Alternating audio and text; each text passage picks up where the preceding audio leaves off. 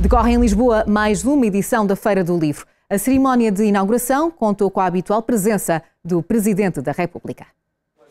São 744 marcas editoriais reunidas num total de 131 expositores, distribuídos por 325 pavilhões. Apesar das restrições pandémicas e da lotação máxima rondar os 70%, a edição deste ano da Feira do Livro é a segunda maior da história da feira em pavilhões, apenas superada pela de 2019, e a maior de sempre na oferta editorial. A ver esta Feira do Livro, com o número de pavilhões, o número de marcas, as entradas que houve, a representatividade que assume, é extraordinário. É extraordinário. É Portugal no seu melhor. A inaugurar a edição 91 do certame, há uma preocupação que não deixa o Presidente da República indiferente. O livro vai recuperar desta vez. Há uma parte que recuperou porque se comprou e vendeu pelo digital. Há uma parte que recuperou porque há mais é livros do que havia.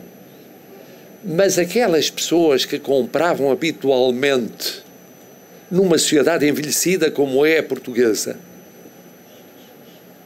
vão recuperar o hábito ou a prática da aquisição? À margem da visita, Marcelo Rebelo de Sousa não quis deixar de comentar a atualidade política.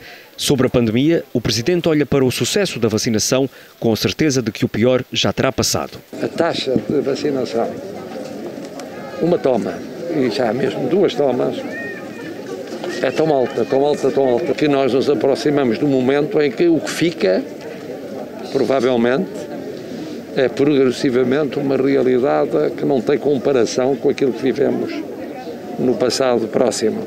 Os livros são uma paixão já conhecida. Aqui, Marcelo encontrou uma motivação para viver pelo menos mais nove anos. Fiz as contas e se chegar aos 82 anos de idade, virei à centésima.